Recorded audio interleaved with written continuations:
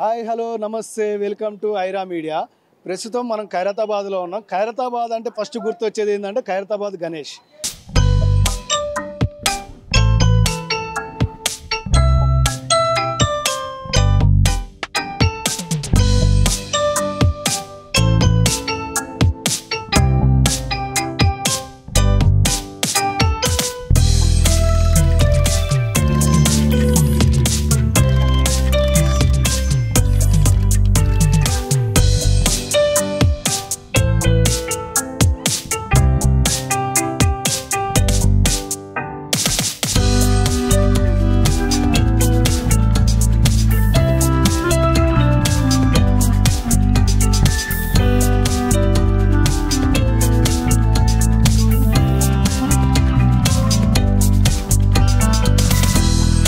ఖైరతాబాద్ గణేష్ తెలియని వాళ్ళు ఎవరు ఉండరు. అయితే దీంట్లో ఇంకా స్పెషల్ ఏంటంటే ప్రతిసారి ప్లాస్టర్ ఆఫ్ ప్యారిస్తో తయారు చేస్తారు. కానీ ఈసారి ఎట్లా అంటే మట్టితో తయారు చేస్తున్నారు. ఇది ఒక స్పెషల్ అన్నట్టే. ఎందుకంటే వాతావరణానికి కాలుష్యం కాకోకుండా ఇబ్బంది పడుకోకుండా ఎవరు ఇబ్బంది పడుకోకుండా మట్టితో తయారు చేయడం అనేది స్పెషల్. అండ్ ఇది ఒకటి స్టార్ట్ అయ్యి ఇప్పట్లో కాదు దగ్గర దగ్గర థర్టీ ఫార్టీ ఇయర్స్ నుంచి స్టార్ట్ అయ్యింది. అసలు ఏ ఇయర్లో స్టార్ట్ అయింది ఎన్ని రోజులు అవుతుంది మ్యానుఫ్యాక్చరింగ్కి? అండ్ వాట్ ఈజ్ వాట్ అనేది అక్కడికి వెళ్ళి మన కన్వీనర్ గారు ఉన్నారు సందీప్ రాజు గారు. అతను తెలుసుకుందాం పదండి.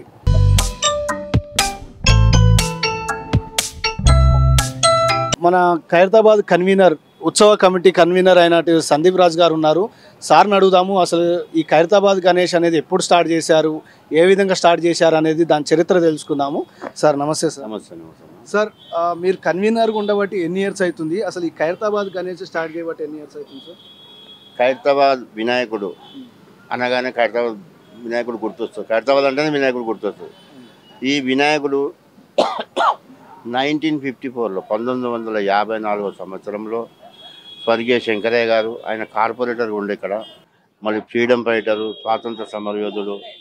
ఆయన ఏం చేశాడంటే నైన్టీన్ ఫిఫ్టీ ఫోర్లో ఒక అడుగుతో మొదలుపెట్టి లోపల లోపల ఒక అడుగుతో మొదలుపెట్టి దాదాపు ఒక నాలుగు సంవత్సరాలు అక్కడ అడుగు అయిన తర్వాత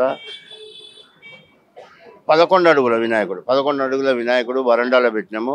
దాని తర్వాత nineteen eighty two eighty three ఆ ప్రాంతంలో పదహారు అడుగులు పదహారు అడుగుల వినాయకుడు ఇరవై ఐదు ఇరవై ఆరు ఇరవై ఏడు ఇరవై ఎనిమిది అట్లా అరవై ఐదో సంవత్సరంలో అరవై ఐదు అడుగుల వినాయకుడిని పెట్టినాం అనమాట అట్లా ఈ వినాయకుడు పెట్టేటప్పుడు కూడా ప్రతి సంవత్సరము ఏదో ఒక రూపంలో పెడతాం. మత్స్య వినాయకుడు భౌతిక వినాయకుడు ఎలుక వాహన వినాయకుడు అట్లాగే ఈ సంవత్సరం కూడా మేము మట్ ఫస్ట్ టైం మనం మట్టి వినాయకుడు. మట్టి వినాయకుడు ఈ సంవత్సరము యాభై అడుగుల వినాయకుడు మట్టి వినాయకుడు. ఇది కూడా మట్టి వినాయకుడు కూడా ఇక్కడే ట్రై చేయం. ఇక్కడ నుండి పొజిషన్ తీసుకుపోయి ఎట్లా ఎప్పటిలాగానైతే మనము అరవై ఏడు సంవత్సరాల నుండి ఏదైతే కుసుమ సాగర్ వేస్తున్నామో అట్లాగనే ఈ సంవత్సరం కూడా మట్టి వినాయకుడిని అక్కడ వినాయసాగరం విశ్వసిస్తాం సార్ ఇప్పుడు ఇప్పుడు అరవై ఐదు ఫీట్ల వినాయకుడిని పెట్టారు కదా మొన్నటి వరకు. అయితే మామూలుగా జనాలు ఏమంటున్నారంటే అరవై ఐదు ఫీట్లు అయినది కదా మళ్ళీ తగ్గుకుంటూ వస్తుంది అని అన్నారు. ఇప్పుడు ఏపీ ఎంత ఫీట్లో ఉన్నది? ఇది? నై అరవై ఐదో సంవత్సరంలో ఇప్పుడు మనం అరవై ఎనిమిదో సంవత్సరం ఉన్నాము. అరవై ఐదో సంవత్సరంలో అరవై ఐదు అడుగుల వినాయకుని పెట్టినాము. పెట్టిన తర్వాత ఇక్కడ నుండి పోవడానికి మనం పోవడానికి కొంచెం ఇబ్బంది అక్కడ ఇక్కడ ఇబ్బంది అవుతుందని మేమే డిసైడ్ చేస్తాం అడుగు తగ్గుతుంటాం తగ్గి తగ్గి మేము అడుగు తగ్గి యాభై అడుగుల వరకు ఆగిపోతామని యాభై అడుగుల వినాయకుడు పెడితే మనకి ఎలాంటి ఇబ్బంది లేదు. ఎత్తు యాభై అడుగులు ఇరవై రెండు అడుగుల వెడల్పు మనకు ఇరవై ఐదు అడుగుల వెడల్పు ముందే ఆ కాన్సెప్ట్తో మనము ఎలాంటి ఇబ్బంది కాకుండా యాభై అడుగుల వినాయకుడు పెట్టాము యాభై అడుగులు వినాయకుడు పెట్టారు. అయితే నిమజ్జనం దీన్ని మళ్ళీ హుసేన్ సాగర్లోనే చేస్తారా? తప్పకుండా వినాయకుడిని మట్టి వినాయకుడు అయినా కానీ ఈ వినాయకుడు అంత స్ట్రాంగ్ చేసినాం దీంట్లో వినాయకుడు ఊరేగింపు పోయేటప్పుడు వర్షం మూడు నాలుగు గంటలు వర్షం పడ్డా కానీ మట్టి కరగదు అది. జారిపోతుంది. అట్లాగా మేము తయారు చేసినాం దీంట్లో. మట్టిలో ఐదు రకాల మిశ్రమాలు ఉన్నాయి. పొట్టు వరి పొట్టు కొబ్బరి పొట్టు జూ- జనపనార కొబ్బరి నార ఇట్లా అన్ని ఐదు మిశ్రమాలు కలిపితే స్ట్రాంగ్ అయిపోయింది కూడా. జూట్ పౌడరు అవన్నీ కలుపుతుంది అది ఇలాంటి ఇబ్బంది ఉండదు మనకు. దీనికి వెళ్ళి ఉసుంసాగర్ పోయేదాకా మనం ఐ- దాదాపు ఐదారు గంటలు పడుతుంది ఎనిమిది గంటలు పడుతుంది. అక్కడ దాకా పోయినా కానీ మనకి ఏం కాదు. ఈ ఈ గణేశుడు. అయితే ఇక్కడే తయారు చేయాలి అనేది మామూలుగా అయితే గణేశుడు అంటే ఎవరు పెట్టినా కానీ చేసిన తయారు చేసిన కానించి తీసుకొచ్చి పెడుతుంటారు. కానీ మనం ఇక్కడే తయారు చేసి ఇక్కడే నుంచే తీసుకెళ్ళాలి అని నినాదం ఎవరు తీసుకొచ్చారు? శంకరయ్య గారు ఉండే. ఫస్ట్ నైన్టీన్ ఫిఫ్టీ ఫోర్లో ధూల్పేటలో దురుసింగ్ అనే కళాకారుడు ఉండే.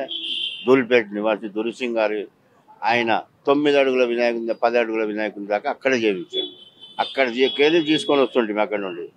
కానీ అక్కడ నుండి ఇక పెరి ఎత్తు పెరిగిన కొద్దీ శంకరయ్య గారు ఆలోచన చేసారు అప్పుడు అనగా ఇక్కడ చేస్తే బాగుంటుందని. అప్పుడు షార్జీ స్టూడియో నుండి ఆర్టిస్టు మన రంగారావు గారని రంగారావు గారని కళాకారుని తీసుకొచ్చి ఫస్ట్ ఇక్కడ స్టార్ట్ చేశారు. రంగారావు గారు తర్వాత ఇంకో కళాకారుడు వచ్చింది. దాని తర్వాత నలభై సంవత్సరాల నుండి ఇప్పుడు చేసే కళాకారుడే మనకు రాజేందర్ గారు ఉన్నారు. ఆ రంగారావు గారు అయిన తర్వాత ఈ నలభై సంవత్సరాల నుండి రాజేందర్ గారు శిల్పి ఆయన కళాకారుడు ఇక్కడ ఆయన ఆధ్వర్యంలోనే ఇక్కడ చేస్తున్నాం అనమాట అయితే ఇప్పుడు మామూలుగా గణేష్ అనే ఖైరతాబాద్ అనగానే గణేశుడు గుర్తొచ్చారు ఆటోమేటిక్గా. అయితే మీరు అన్నట్టుగా ఇప్పుడు ఈ గణేశుడు ఉత్సవానికి గల చర్యలు అంటే ప్రజలకు ఇబ్బంది పడకోకుండా తీసుకోవడానికి ఏమైనా చర్యలు తీసుకుంటారు తప్పకుండా తీసుకుంటాము. ఇన్ని సంవత్సరాల నుండి అరవై ఏడు సంవత్సరాల నుండి మనము ఇక్కడ నుండి తీసుకుంటున్నాము. ఇది అరవై ఎనిమిదవ సంవత్సరము. ప్రజలు దర్శించుకోవడానికి ఎలాంటి ఇబ్బంది కాకుండా బారికేడ్స్ అక్కడ బిల్లి అడుగడుగున్న పోలీసులు ఇక్కడ బారికేటు ఇన్ను అవుట్ అని యారో మార్క్ పెట్టుకొని పోలీస్ డిపార్ట్మెంట్ వాళ్ళు ఉంటారు. పోలీసులు చెక్ పాయింట్ ఉంటుంది. చెక్ పాయింట్ డిటెన్ మెటల్ డిటెక్టర్ ఉంటారు. అన్ని విధాలుగా ఇప్పుడు లక్షల మంది వచ్చే దగ్గర మనం తీసుకుంటేనే మనకు పబ్లిక్ ఈ నష్టం జరగకుండా భక్తులకు ఏం హాని కలగకుండా అన్ని విధాలుగా మేము ఉత్సవ కమిటీ వాళ్ళం ఏర్పాటు చేస్తాం. దేశ నలుమూల నుంచి ఖైరతాబాద్ గణేశునికి నిధులు ఇవ్వడానికి చూస్తారు. ఆ నిధులు తీసుకుంటారా? లేకపోతే మీకల్లా మీరే చేయడం జరుగుతుంది? మేము నిధులు ఏదైతే భక్తులు ఇచ్చే చందాలు అన్నటువంటి ఏది కానీ మేము ఒక్కరి దగ్గర పోయి ఫోర్స్ చేయము ఇబ్బంది పెట్టం. వాళ్ళు భక్తితోని భక్తితోని ఖైరతాబాద్లో వచ్చి ఇక్కడ బుండీలు చేస్తారు. ఏదో మా వాట్సాప్ ఆన్లైన్ పేమెంట్ ఉంది ఆన్లైన్ పూజ ఉన్నది. వాళ్ళు ఆన్లైన్ చేస్తే మేము ఏమన్నా వాళ్ళు పూర్తి చేయము. ఇదంతా భక్తుల వినాయకుడు. భక్తులు ఇచ్చే కట్నాల కానుకలతోనే అడుగు అడుగున అప్పుడు ఒకప్పుడు పావుల ఆటన పది పైసలు ఇస్తుండే ఇప్పుడు వాళ్ళు వాళ్ళు కోరికలు తీర్చే వినాయకుడు ఆ మొక్కు మొక్కులు తీర్చే వినాయకుడు కాబట్టి వాళ్ళు మొక్కుకున్నది ఈరోజు మంచిగా అయింది.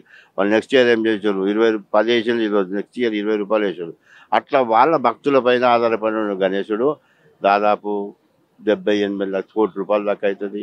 ఈ వినాయకుడు అందరూ భక్తులు ఇచ్చే కట్నాల కానుకలపైనే ఈ వినాయకుడు ఉంటుంది. అయితే చాలామందికి తెలియని విషయం ఏంటంటే ఖైరతాబాద్ గణేష్ ఒక గణేష్ తయారు చేయాలంటే ఒక నెల ముందో రెండు మూడు నెలల ముందో స్టార్ట్ చేస్తారు. మన ఖైరతాబాద్ గణేష్ను తయారు చేయడానికి ఎన్ని రోజులు పడుతుంది? ఎప్పటి నుంచి స్టార్ట్ చేస్తారు? జూన్ పదవ తారీఖున స్టార్ట్ చేసిన మనం. దాదాపు తొంభై రోజులు తొంభై రోజులు ఎప్పుడు కానీ తొంభై రోజులు ఎనభై రోజులు టైం పడుతుంది. ఈ సంవత్సరం వర్షాలు అయితే మధ్యలో కాస్త పదిహేను రోజులు డిస్టర్బ్ చేసినాయి వర్షాలు. అయినా కానీ మేము తార్పాలన్నీ బందోబస్తు కట్టి రాత్రి వాళ్ళు కష్టపడ్డాము. దీన్ని తయారు చేయడానికి దాదాపు మూడు నెలల సమయం పడుతుంది. ఇప్పుడు మనము రెండు నెలల్లోనే మట్టి వినాయకుని నూట యాభై మంది కార్మికులు రాత్రి వాళ్ళు కష్టపడి ఒరిస్సా నుండి వచ్చిన స్పెషల్గా ఈ సంవత్సరం మట్టి కళాకారుడు చెన్నై నుండి వచ్చిన కళాకారులు మహారాష్ట్ర నుండి వచ్చిన కళాకారులు ఏపీ నుండి వచ్చిన కళాకారులు అందరు కలిపి ఐదు స్టేట్ల నుండి వినాయకుడు రూపొందిస్తుంది సార్ ఇప్పుడు ఖైరతాబాద్ గణేషుడికి ప్రథమ పూజ ఎవరు చేస్తున్నారు అసలు అయితే వినాయకుని చవితి పండుగ ముప్పై ఒక తారీఖు నాడు మొట్టమొదటి రోజుగా మనం ఆనవాయితీగా మేము ప్రతి సంవత్సరము గవర్నర్ గారిని పిలుస్తాం. గవర్నర్ ఎవరైనా ఉండని గవర్నర్ గారిని ఆహ్వానిస్తాము. గవర్నర్ గారు ఈ సంవత్సరము తమిళిసైన గవర్నర్ గారు మొట్టమొదటి పూజ లాస్ట్ ఇయర్ కూడా ఇద్దరు గవర్నర్లు వచ్చారు నరసింహన్ గారు. ఆ రోజే ట్రాన్స్ఫర్ అయింది మళ్ళీ నెక్స్ట్ డే ఈమె వచ్చేసింది మేడం గారు. అట్లాగే మేము ఈ సంవత్సరం కూడా ఆమెను ఆహ్వానిస్తాము. మన మా స్థానిక ఎమ్మెల్యే దానం నాగేంద్ర గారు మా ప్రెసిడెంట్ అయినా అట్లాగే మినిస్టర్స్ హరీష్ రావు మరి కేటీఆర్ గారికి మరి సీఎం గారికి అందరికీ ఆహ్వానించినాము. ఎవరైనా అందరూ వచ్చినా కానీ ఫస్ట్ పూజ మాత్రం గవర్నర్ చేతుల మీద మేము పూజ కాదు యాక్చువల్గా ఖైరతాబాద్ గణేష్ అంటే విగ్రహానికే కాదు లడ్డూకి కూడా ఫేమస్ అంటారు కదా. ఆ లడ్డు వేలం పాట వేస్తారా లేకపోతే ప్రజలకి పంచుతారా అనేది? చరిత్రలో మన లడ్డూను మనం వేలంపాట వేయలేదు. ఇప్పటివరకు వేలంపాట లేదు. భక్తులకు ఉచితంగా పంచిపెడుతూ ఒక ఒకసారి ఆరు టన్నుల లడ్డు కూడా తాపేశ్వరం నివాసి మల్లిబాబు గారు ఇచ్చారు. మూడు టన్నుల లడ్డు కూడా ఇచ్చారు ఆయన. ఐదు రెండు టన్నుల లడ్డు కూడా ఇచ్చారు. ఐదు వందల కేజీల నుండి ఆరు టన్నుల వరకు ఇచ్చిండు. అది అందరికీ ఉచితంగా. ఆరు టన్నుల లడ్డు అప్పుడు నిమజ్జనమైన తెల్లారి పంచుదాం అనుకున్నాము. ఏదో అందరూ దొరుకుతుంది. కానీ లాఠీ చాలు కొట్లాట పంచాలు కాగానే బంద్ చేసినాము. ఇప్పుడు ఏం చేసినామంటే ఎవరైనా పెట్టని కాళ్ళ పాదాల దగ్గర పెట్టేసి ఇక్కడ వచ్చే భక్తులకు వాళ్ళకు ఉచితంగా పంచిపెట్టేస్తాం అనమాట ఈ సంవత్సరం కూడా ఏ భక్తులు తెచ్చినా కానీ రెండో రోజు ఈ భక్తులకు దర్శనం తర్వాత దర్శించుకున్న తర్వాత వాళ్ళకు మేము పనిచేస్తాం.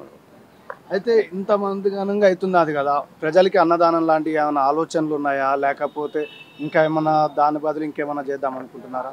ఇక్కడ దాదాపు రెండు వేల మంది రోజు అన్న ప్రసాదం తీసుకుంటారు అనమాట ప్రసాదం ఉంటుంది అన్న ప్రసాదం ఉంటుంది బ్యాక్ సైడ్లో దాదాపు రెండు వేల మంది భక్తులు తింటారు ఇక్కడ వర్కర్లు వాలంటీర్లు తింటారు డిపార్ట్మెంట్ వాళ్ళు తింటారు అన్ని డిపార్ట్మెంట్ వాళ్ళు పోలీస్ డిపార్ట్ ట్రాఫిక్ వాళ్ళు అందరూ తింటారు. దాదాపు రెండు వేల మంది భక్తులకు మేము అన్న ప్రసాదం ఏర్పాటు చేస్తాం తొమ్మిది రోజులు నవరాత్రి మొత్తం ఈ ఉత్సవ గణేషుణ్ణి మనం నిమజ్జనానికి వెళ్ళి వెళ్తాం కదా. మీరు ఎన్ని రోజులకి నిమజ్జనానికి వెళ్తారు? ఒకళ్ళు నిమజ్జనానికి వెళ్ళేటప్పుడు ప్రజలకి హానికరంగా కాకుండా ఇబ్బంది ఇబ్బంది పడుకోకుండా ఏమైనా కఠిన చర్యలు తీసుకున్నారు ఆల్రెడీ? ఏమి లేదు. మేము ప్రతి సంవత్సరం ఎట్లాగైతే పిఓపి వినాయకుని ఊరేగింపుగా వెళ్తామో ఈ సంవత్సరం కూడా మట్టి వినాయకుడు బందోబస్తు అంత బందోబస్తుగా చేసినాము. భక్తులకు ఎలాంటి ఇబ్బంది కాకుండా తొమ్మిదవ తారీఖు రోజు తొమ్మిదవ తారీఖు రోజు అనంత చతుర్దశి ఆ రోజు. అనంత చతుర్దశి రోజు మనం హిందూ సాంప్రదాయ ప్రకారం తొమ్మిదవ తారీఖు రోజు అనంత చతుర్దశి రోజు మనం వినాయకుని నిమజ్జనం చేయాలి. అందరూ సిటీ మొత్తం ఎవరైనా కానీ మన ఇళ్ళలో పెట్టుకున్న వాళ్ళు కానీ బయట పెట్టుకున్నా కానీ భక్తులకు మనం చేస్తున్నాము. మనం తొమ్మిదో రోజు పదో రోజు ఉంటుంది. ఈ సంవత్సరము పది రోజులు వస్తుంది. ముప్పై ఒక తారీఖు నాడు వినాయక చవితి తొమ్మిదవ తారీఖు రోజు నిమజ్జనం కార్యక్రమం ఉంటుంది. ఇది కూడా తొమ్మిదవ తారీఖు నాడు ఉదయం పది గంటల నుండి పదకొండు గంటలకు ఇక్కడ నుండి బయలుదేరి మధ్యాహ్నం రెండు మూడు గంటల వరకు ఎవ్రీ గత సంవత్సరం రెండున్నరకు పడ్డది లాస్ట్ ఇయర్. ఈ సంవత్సరం మూడు నాలుగు మూడు రెండు సూర్యం సూర్యుడు అస్తమించక ముందే ఈ వినాయకుని నిమజ్జనం చేస్తాం.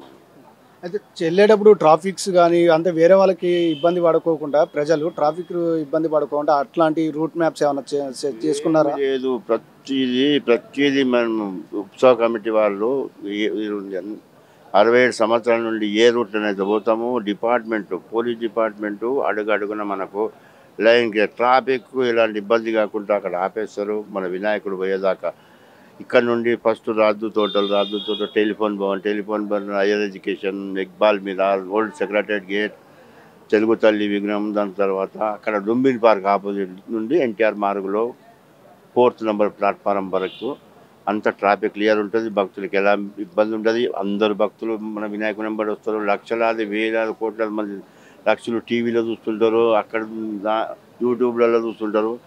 దీనికి ఎలాంటి ఇబ్బంది ఉండదు. అంత ప్రశాంతంగా జరుగుతుందని మేము ఈ సంవత్సరం కూడా ప్రశాంతంగా జరగాలని మేము కోరుకుంటున్నాం. మా ఛానల్ నుంచి కూడా ఈసారి కూడా ప్రశాంతంగా నిమజ్జనం బొజ్జగంపయ్య గారు నిమ ప్రశాంతంగా నిమజ్జనం జరగాలని కోరుకుంటూ మాకు ఇంత అమూల్యమైన టైం ఇచ్చి మాకు చాలా మందికి తెలియని విషయాలు తెలియజేసిన ధన్యవాదాలు సార్. నమస్కారం. చూశారు కదా మన బొజ్జగాయనపై చరిత్రని. ఖైరతాబాద్ అంటే తెలియని వాళ్ళు ఉండరు. ఆ ఖైరతాబాద్ చరిత్ర విన్నారు కదా. అండ్ మా వీడియో నచ్చితే లైక్ చేయండి షేర్ చేయండి. మరిన్ని అప్డేట్స్ కోసం మా ఛానల్ని సబ్స్క్రైబ్ చేసుకోండి. హాయ్ ఫ్రెండ్స్ మా ఛానల్లో అన్ని వీడియోస్ మిస్ కాకుండా చూడాలి అనుకుంటే వెంటనే సబ్స్క్రైబ్ చేసుకోండి. అలాగే బెల్ ఐకాన్ని ప్రెస్ చేయండి. Like share comment.